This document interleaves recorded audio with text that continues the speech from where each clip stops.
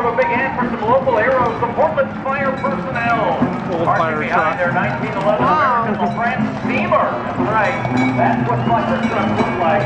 The early days of the Rose Festival, the steamer being pulled by four Belgian horses, So, provided by before, Jason Farms and the Sweet Home. Rose Festival. Nearly 70,000 No, this times whole a year, is our community Festival. calls the men and women It's like two of weeks. Uh, Portland Fire Oh. Rescue for help. Since 1883, Portlanders have put their trust and in the hands of firefighters.